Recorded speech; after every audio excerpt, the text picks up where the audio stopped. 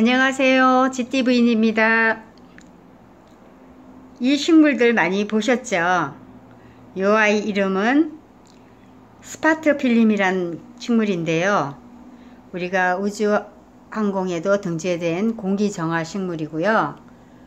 어, 이 아이의 특징은 잎과 그 꽃잎, 꽃과 이렇게 모양이 비슷하죠. 지금 요 꽃은 이제 바로 올라온 지 얼마 안 돼서 이런 색이고요. 요 아이는 조금 됐고 요 뒤아이는 지금 물 모금을 못 해가지고 시들어가는 꽃이에요. 아니면 꽃이 핀 지 오래됐거나 이럴 때도 이렇게 변해가죠. 그래서 오늘 이 꽃을 보고 제가 물을 어, 주려고 확인을 하던 중에 지금 이렇게 보여드리고 있어요. 이 스파트 필름은 우리가 너무 순둥한 식물이라고 저는 생각이 들거든요. 저도 그 식물 처음 키울 때 이 아이부터 시작을 했어요.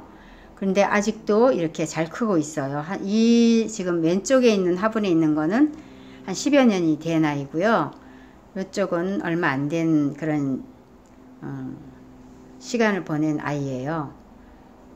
그런데 이 아이가 10여 년을 키웠는데 요 옆에 있는 아이랑 사이즈가 비슷하죠.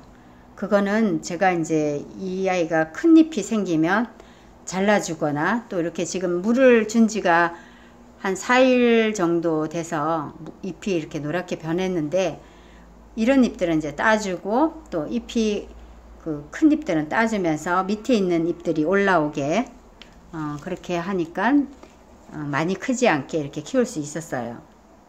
왜냐하면 그 정원이나 마당이 있거나 공간이 넓은 데서는 그냥 자기 마음대로 크게 입장 잎이 크게 이렇게 키워도 되는데 저희는 공간이 흡수하다 보니까 아파트 베란다이고 그래서 이런 가지를 잘라주면서 어, 큰 잎들은 또 좀 잘라주면서 그렇게 키우고 있어서 이렇게 작게 키울 수 있었고요. 이 그 꽃도 지금은 이렇게 잘 피고 있어요. 꽃이 입장이 잎과 비슷하다는 거.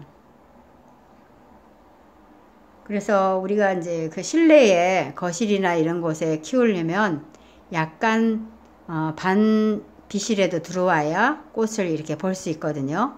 만약에 빛이 없는 곳에서 키우면 입장도 얇아지면서 꽃도 안 펴지는 그런 음, 상황을 볼 수 있어서 빛을 약간 받아야 돼요. 그래야지 이 잎들도 아주 이렇게 탄탄하게 클고 클수 있어요. 순둥하지만 이 아이도 약간의 빛을 받으면 이렇게 많은 꽃을 내주고요. 그 다음에 흙은 어, 우리가 이제 저는 이 아이가 분갈이 한 지가 아직 몇 년 됐거든요. 근데 흙은 이제 우리가 일반적으로 배양토하고 분갈이 흙을 쓰면 되고요. 또 저 같은 경우는 흙에다가 약간의 그 피트먼스를 조금 섞어서 음, 그렇게 사용을 하고 있어요. 그래서 이런 식물을 보면 이렇게 더운 여름이 다가올수록 어, 싱그럽게 느껴져서 이 식물들은 어, 안 키우시는 분들은 하나씩 제가 추천을 하고 싶고요. 또 이 식물은 그 순둥한 게 뭐냐면 벌레가 안 생기더라고. 다른 식물들은 그 물을 조금 늦게 주면은 그런 잎 뒤에 이런데 이제 벌레가 생기거든요. 근데 이 아이는 벌레가 생긴 적이 없어요. 그래서 어 저는 정말 순한 아이라고 생각하고 잘 키우고 있어요. 그래서 어 제가 요거 분갈이해서 숫자를 더 늘리고 싶었지만 그냥 이대로 키우고 있고요. 그 나눠서 키우면 또 이렇게 풍성한 거가 또 얼마 못, 보지 못할 것 같아서 요 하나는 제가 또 구입을 해서 다른 쪽에 이제 두고 키우고 있어요. 그래서 제가 이 하얀 꽃을 보면 정말 우아하죠. 그래서 여러분들한테 저희 집 스타트 필름을 소개를 하고 있습니다.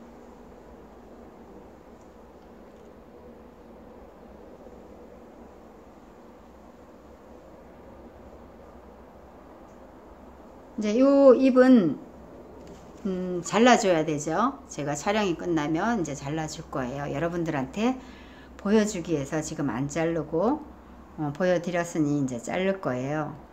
그리고 이제 이렇게 너무 노란 잎도 저는 그 잘라줄 거예요. 잘라주면 밑에서 또 잎들이 새 잎들이 나오고 하거든요. 그래서 이렇게 잘라줘서 조금 더 푸르르게 볼 수 있는 그런 식물로 만들고 싶어서 어, 수용도 약간씩 정리하면서 어, 키울까 해요. 그래서 이 식물은 하나씩 집안에 있으면 어, 좋은 그런 공기도 만들 수 있고 그래서 좋은 것 같습니다. 시청해 주셔서 감사합니다.